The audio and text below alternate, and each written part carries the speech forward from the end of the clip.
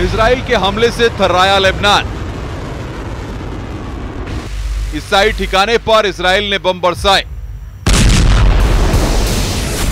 Hezbollah के ठिकाने Netanyahu का ऐलान है जंग। रॉकेट से हमला, बमबारी से मौत का माता।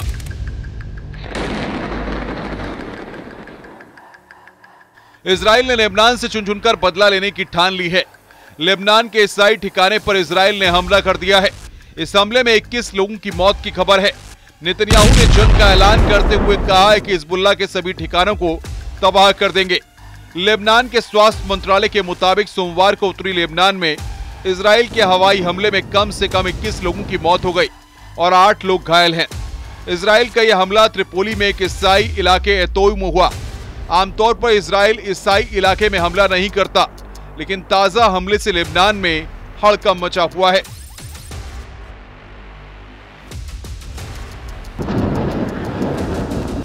एक इंटरनेशनल रिपोर्ट के मुताबिक एतोई में एक अपार्टमेंट में दक्षिण लेबनान से पलायन कराए लोगों ने अपना ठिकाना बना रखा था। इसी ठिकाने पर इसराइल ने बमबारी कर दी। रॉकेट दाग दिए, खौफ में लोग सहम गए। लाशें बिखर गईं और चारों ओर धुएँ का गुबार दिखाई दिया। त्रिपोली लेबनान के सुरक्षित इलाके में गिना जाता रहा है। दावा यह भी है कि इसराइल ने पिछले हफ़्ते पहली बार यहाँ एक शरणार्थी कैंप पर बमबारी की थी। इजरायली सेना ने इस हमले में आधिकारिक रूप से कोई बयान जारी नहीं किया है। लेकिन हमले से कुछ ही घंटे पहले इसराइल के पीएम बेंजामिन नेतन्याहू ने कहा था कि बेरूस समेत हर उस इलाके पर हमला किया जाएगा, जहाँ हिजबुल्ला के ठिकाने हैं। ज़ाहिर है इसराइल ने हिजबुल्ला के ठिकानों पर हमले का पूरा प्लान बनाया है।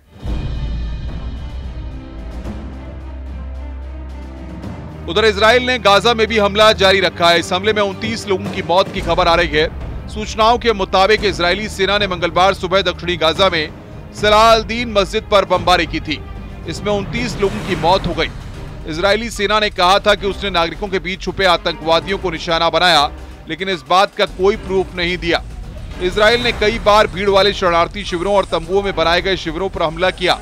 इसराइल की ओर से यह भी आरोप लगाया गया कि हमास के लड़ाके हमलों के लिए इन शिविरों का इस्तेमाल करते हैं।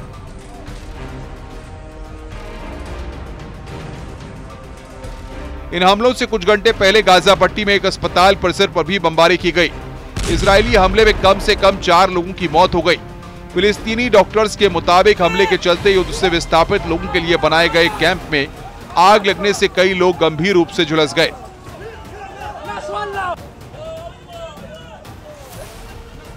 उधर तमाम तरह की अटकलों के बीच आईआरजीसी चीफ दो हफ़्ते बाद दिखाई दिए। इनके मारे जाने की सूचनाएँ सोशल मीडिया में सुर्खियों में हैं। ईरान के Islamic revolutionary guard corps IRGC के ब्रिगेडियर जनरल इस्माइन कानी दो हफ़्ते से अंडरग्राउंड थे। अचानक वो सामने आए हैं। जानकारी के मुताबिक उनके इसराइली हमले में मारे जाने की आशंका जताई जा रही थी। लेकिन जनरल इस्माइल कानी सही सलामत नज़र आ रहे हैं।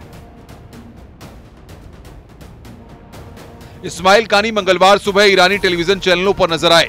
तेहरान एयरपोर्ट पर वो अब्बास निर्फुल्केशन के शव को रिसीव करने पहुँचे थे। सितंबर महीने में बेरूत पर इजरायली ड्रोन हमले में हिजबुल्ला नेता हसन नसरुल्ला के साथ निर्फुलशन की मौत हो गई थी। निर्फुलशन बेरूत में नसरुल्ला का ईरानी लीडर खामेनेई का मैसेज देने पहुँचे थे। ताज़ा हमले से अमेरिका ने भी आँखें तरेरी। व्हाइट हाउस ने पहले की धमकी भी याद दिलाई। अमेरिकी नागरिक पर हमला हुआ तो भुगतेगा ईरान। ताज़ा हमले के बाद अमेरिका का पारा भी सातवें आसमान पर है। अमेरिका ने ईरान को गंभीर परिणाम भुगतने की चेतावनी दी है। व्हाइट हाउस ने ईरान से कहा है कि अमेरिका कई साल से पूर्व राष्ट्रपति डोनाल्ड ट्रंप के खिलाफ उनकी धमकियों पर बारीकी से नज़र रख रहा है। यदि ईरान किसी भी अमेरिकी नागरिक पर हमला करता है तो उसे इसके गंभीर परिणाम भुगतने होंगे। हिजबुल्ला ने रविवार रात इसराइल के हाइफा इलाके में गोलानी मिलिट्री बेस पर हमला किया था। इसराइल डिफेंस फोर्स आईडीएफ के मुताबिक इस हमले में चार सैनिकों की मौत हो गई और कम से कम अट्ठावन सैनिक घायल हुए हैं। घायल सैनिकों में सात गंभीर रूप से घायल हैं। यह हमला राजधानी तेल अवीव से 40 मील दूर बिनियामिना टाउन में हुआ। इसराइली मिलिट्री के प्रवक्ता के मुताबिक कोई भी ड्रोन बिना किसी वार्निंग के इसराइली हवाई सीमा के अंदर कैसे आ सकता है इसकी जाँच हो रही है। हमलावर संगठन ने इस हमले की ज़िम्मेदारी लेते हुए कहा कि आईडीएफ की ट्रेनिंग बेस पर ड्रोन की बरसात कर दी गई। उन्होंने उन जगहों पर विस्फोट किया जहाँ पर इसराइली सैनिक मौजूद थे। वे लेबनान पर हमले की तैयारी के लिए योजना बना रहे थे।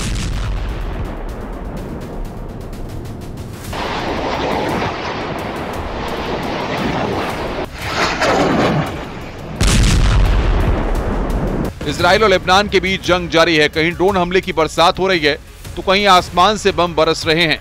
बहरहाल इसराइल के ताज़ा हमले में लेबनान का भारी नुकसान हुआ है। कई लोगों के मारे जाने की खबरें हैं। सवाल यह है कि यह जंग कब तक जारी रहेगी। Bureau report, news eighteen.